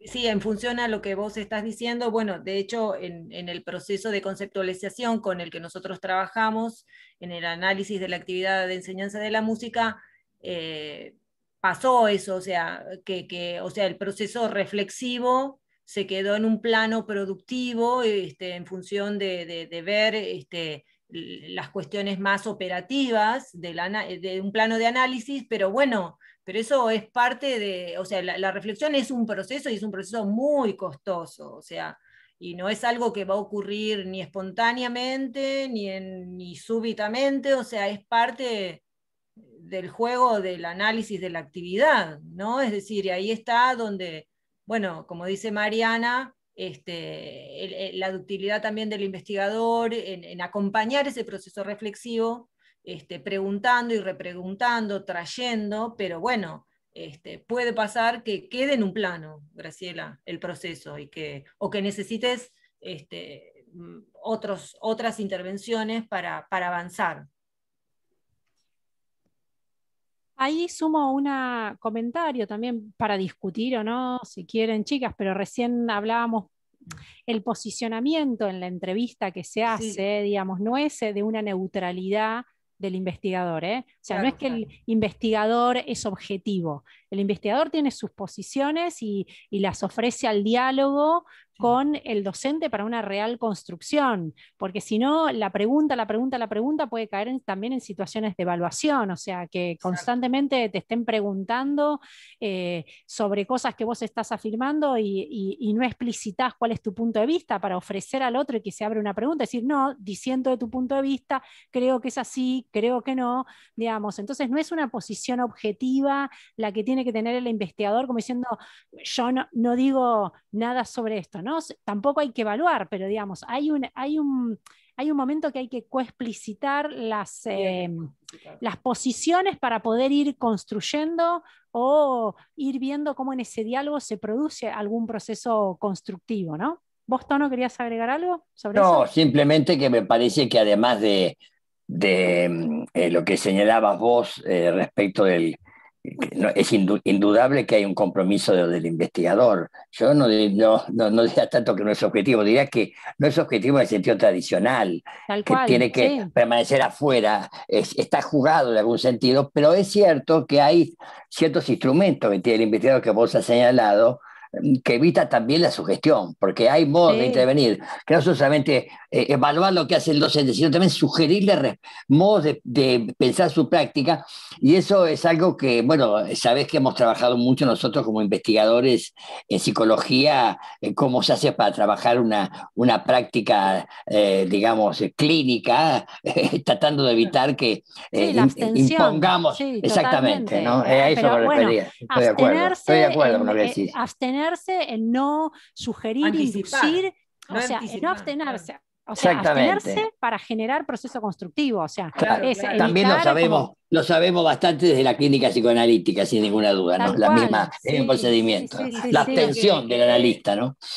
Y la, anticipación es una de las claves, o sea, no anticiparse, no ser este, tampoco los modos de preguntar en cuanto a intervenciones cerradas. Eh, es, una, es una acción dialógica, o sea, donde mm. hay un ida y vuelta, donde hay un, plano, un mismo plano, podríamos decir, que quizá esto es lo más, lo más difícil ¿no? de, de, construir, donde si bien, como dice Mariana, trabajamos muchísimo sobre la construcción del guion, el guion después es parte de una trama, pero acá el eje es, bueno, cómo ayudar a coexplicitar algo para, que emerja en función de las categorías que estamos estudiando, pero que poder sacar lo que no está explícito sin anticipar, eh, anticiparnos al, proceso reflexivo. Eh, eh, como te decía Carolina, que yo estoy totalmente de acuerdo, el compromiso quiere decir la no exterioridad. O sea, el investigador no está afuera de lo que puede pensar el docente, sino que es un disparador, es un actor en ese, ese nivel dialógico que ustedes todas las dos han enfatizado también, digamos, ¿no? Entonces, digo, este, es intersubjetiva la, la reflexión del maestro, del docente en última instancia. Es de él pero es de él con ustedes. Si ustedes no tuvieran, él no reflexionaría. Eso está clarísimo y lo, lo ha quedado muy claro en, en lo que han presentado, ¿no? Esa es una, una buena lección para todos, ¿no? Sí, yo quería decir una última cosa respecto de esto que surgía y que me, parece que es, muy importante lo que decía Tono respecto del, compromiso epistémico, ¿no? Porque el propósito de la investigación es eh, producir conocimiento y, también contribuir efectivamente en, en la formación de esa docente que formó parte de la investigación, pero de otros docentes que luego van a encontrarse con, los resultados de, esa, investigación.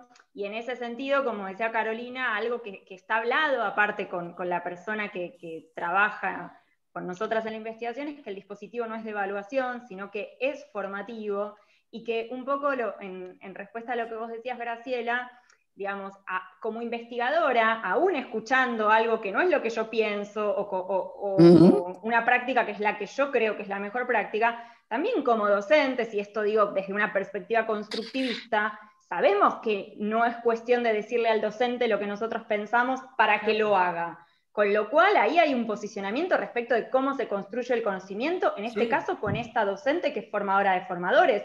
No es que porque yo le diga mi opinión respecto a ese episodio, ella se va a formar.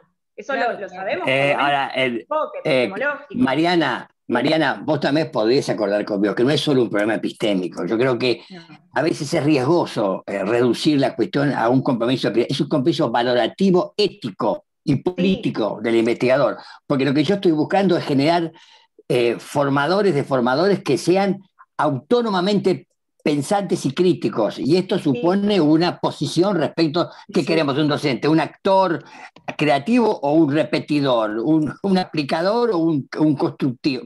Ahí hay un problema también, además de epistémico, ético. Eh, y creo que lo que Carolina señala, estoy totalmente de acuerdo. ¿no? Bien, a ver, había otras preguntas, disculpen. No, eh, pero uno habla demasiado. de Cristóforis quería plantear algo. Sí, buenas tardes. No, quería preguntar si a ver, pensando en lo que Verónica decía de cuando queda detenido un proceso de reflexivo en, alguna situación, si es posible pensar como hipótesis en la generación de nuevos dispositivos diferentes, estoy pensando por ejemplo en entrevistas cruzadas, que posibiliten que esa reflexión detenida vuelva a activarse, no por nuestra intervención, digo, o esto ya también es ponerse en el lugar evaluativo, a mí me cuesta ese lugar entre la investigación y la evaluación constantemente, porque además me pienso como docente, ¿no?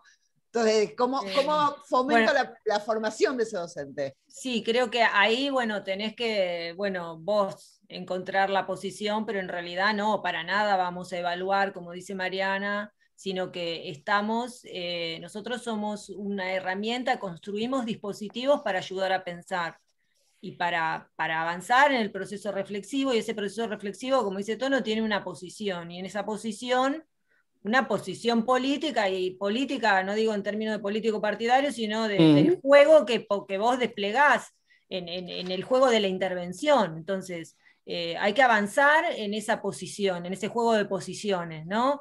Entonces vale que si de pronto con, con un guion de entrevista de autoconfrontación, ese proceso reflexivo, eh, uno ve que, no avanza, creo que sí, la entrevista cruzada puede ser eh, una, estrategia para avanzar en el proceso de reflexión. Este, pero, perdón, eh, porque estaba pensando en la línea que, planteaba María, digo, uno podría, tomando en cuenta ese proceso que, en el que vas dialogando con el docente, darte cuenta de que es preferible detenerte y generar un dispositivo, o sea, preparar, por ejemplo, un nuevo protocolo, una nueva entrevista o un nuevo dispositivo podría formar parte de tu trabajo, de tener... En general lo deberíamos prever antes, o sea, los dispositivos están antes eh, dispuestos, están socializados, están anticipados, eh, uno debería tenerlos eh, dentro de, de, la investigación. Esta tesis en particular fue, bueno, desde lo metodológico eh, tuvo un, esa sería como el punto más débil en el sentido de que, por ejemplo, el concepto de coexplicitación de Vinatier, que es el que, que es un, concepto que emerge posterior en, el campo metodológico a la implementación de este estudio. O sea, eh, nosotros implementamos esto en el 2016 y el concepto de coexplicitación es un concepto del 2018, ¿no, Carolina? Si me digo bien.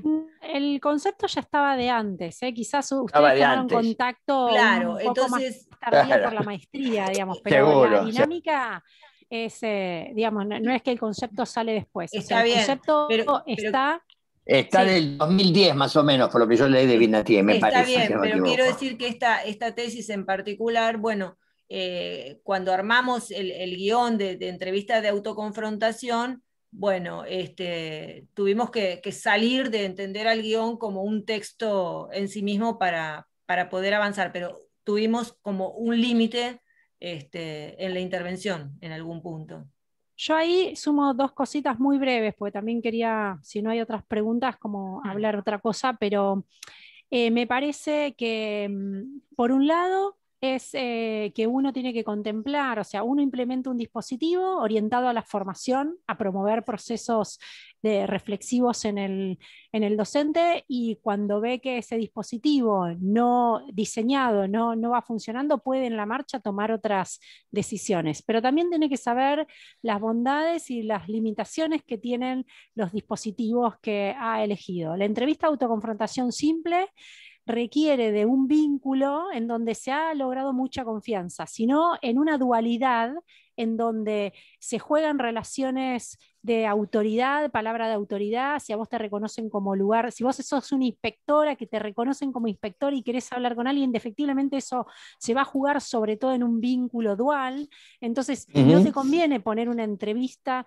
de autoconfrontación, tampoco en la situación estudiante-profesor de práctica, o sea, porque hay una relación asimétrica en términos, siempre las relaciones pueden ser asimétricas, pero hay algunas que tienen más peso. Si yo soy la docente que te voy a acreditar una asignatura y vos sos el estudiante que estás interesado y fuiste a hacer la residencia y la verdad que las condiciones para hablar eh, van a, vos por más que te quieras abstener, vas a tener que remar mucho para poder lograr ahí una auténtica producción. Entonces, buscar otro tipo de eh, intervenciones, puede ser la autoconfrontación cruzada, la instrucción del SOCIAS u otro tipo de, estrategias que vos requieras para promover la reflexividad, se tienen que ver o tomar decisiones acorde a cuál es ese objeto y el encuadre de la relación dialógica que vos estás teniendo con ese otro que querés proponerle trabajar y dialogar. ¿no?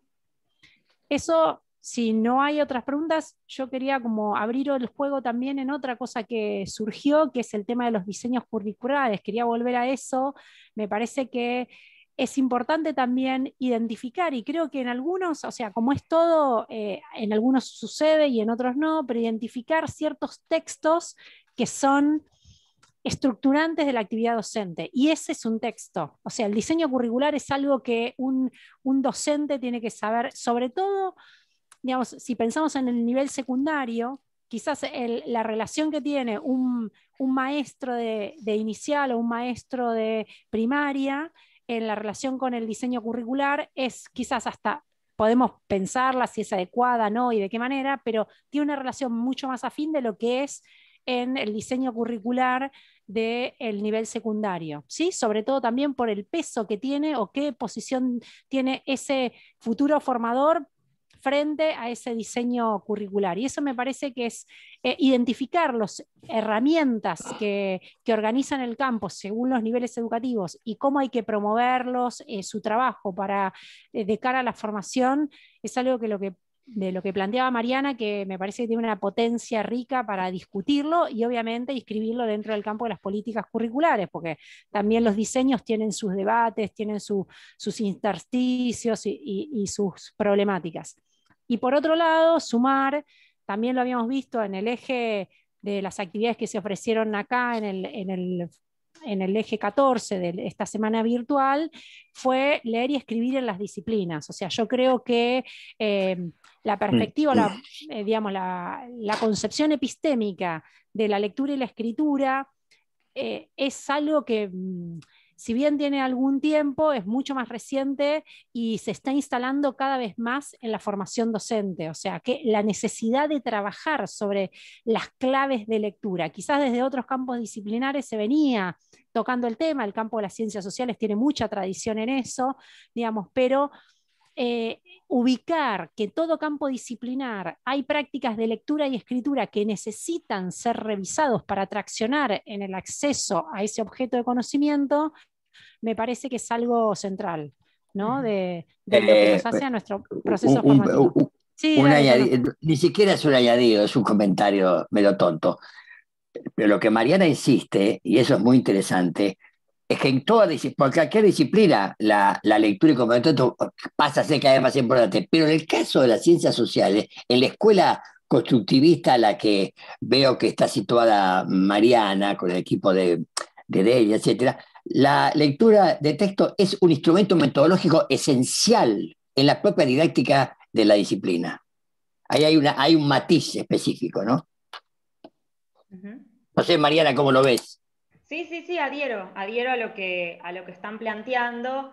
Eh, y tal vez se me ocurre anudar esto con la pregunta que vos hacías, Tono. Bueno, el caso permite hacer generalizaciones tal vez no, pero mira todo lo que permite abrir, ¿no? Bueno, a partir de un caso, analizando la secuencia de una docente, podemos ponernos a dialogar en, este, en este encuentro que tenemos sobre cómo enseñamos a apropiarse eh, a nuestros estudiantes en la formación inicial de, un objeto de la cultura que es el diseño curricular, ¿no? Cómo, cómo los ayudamos a, a, incorporarse en ese colectivo profesional que tiene el desafío de leer ese texto que comprime una cantidad de cosas que no explica, que además es histórico, eh, cómo el caso además nos ayuda a pensar en las prácticas de lectura barra de escritura, que yo no las trabajé, pero sin duda son parte de la formación de docentes, eh, digamos, cómo el caso nos, pone sobre la mesa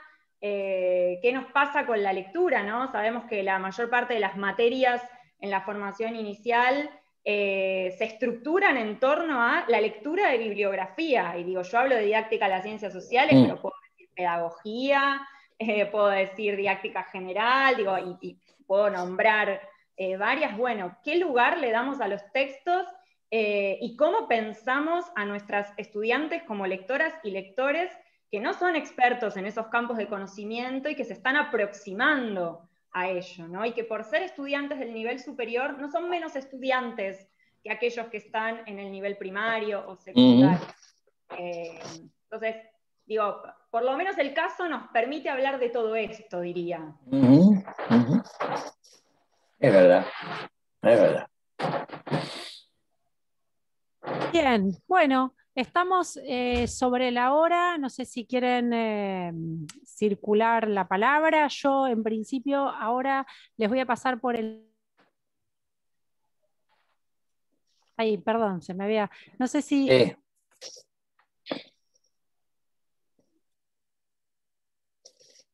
Estás silenciada, Caro. Perdón, en el chat acabo de poner la página de la maestría, eh, los lugares de contacto para los que estén interesados en información tienen que escribir ingreso y si quieren alguna consulta general para acceso a conocer algún material o alguna pregunta más conceptual me pueden escribir a maestría formación docente donde ahí recepcionaremos sus, inquietudes o temas que les interesen en torno al campo de la formación docente. Igual veo que hay muchos estudiantes de la corte actual, de próximos tesistas. Está Javier eh, Canosa, que tiene su tesis en evaluación, eh, las chicas, María, Victoria, Graciela, eh, y hay algunas más por ahí. Irma Velardes, que está siendo también tesista de la maestría, no las había visto al comienzo, disculpen. bueno, nada, hay varias personas acá, pero aquellos que no conocen la maestría, los invitamos a que revisen la página y que nos escriban con inquietudes. Chicas, ¿algunas palabras, tono? ¿Alguien quiere hacer algún tema? No, no, no, muy interesante la experiencia, eh, como dijeron las, las, chicas que hablaron, este, sería bueno que esta, este procedimiento de hacer salir más allá de, la, de las fronteras de la maestría, es una cosa más amplia de poner en relación a los tesistas con el mundo docente y de la formación, este, sería muy rico tanto para la formación como para nosotros mismos de la maestría, ¿no? Así que está muy bien. Muy bien. Recuerden, si quieren ver la defensa completa de las chicas, la tienen en la página, ahí. También en el repositorio de la universidad están disponibles sus tesis completas por escrito, ahí pueden consultar también. Bueno, gracias por compartir el espacio. La maestría es presencial por ahora, señores, solo es virtual por la pandemia. Pero había una pregunta por ahí. Bueno, yo quería agradecer a las compañeras que van haciendo una punta muy importante. La verdad que me da mucho, mucho placer, mucho orgullo escucharlas y las, la verdad que las felicito, tanto esfuerzo, pero es un estímulo para los que venimos detrás, que venimos con ganas también. Y me parece que estos espacios durante esta semana porque he escuchado a muchos docentes, eh, compañeros de, instituciones educativas que se han acercado a la semana virtual de UNIPE. Así que yo estoy muy agradecida, eh, he tomado apuntes, siempre sigo aprendiendo y me parece que, bueno, es muy alentador espacios como estos para que también otros docentes puedan conocer qué es lo que se trabaja en esta alta casa de estudios. Así que, bueno, les mando un abrazo a cada uno. Gracias, Silma. Muy bien. Gracias, Silma. Bueno, Mariana y Verónica, mil gracias por todo. Mil gracias, chicas. ¿eh? Muy bien, muy ah, bien, muy interesante. de la UNIPE muy por el apoyo de condicional. No, por favor. Bueno, nos vemos, nos estamos, nos estamos viendo, como se dice, se decía en otra época. Nos estamos viendo. Bueno, Hasta luego. saludos a todos y Adiós, estamos adiós. en contacto. Chao. Saludos, chicas, adiós, saludos. adiós, adiós.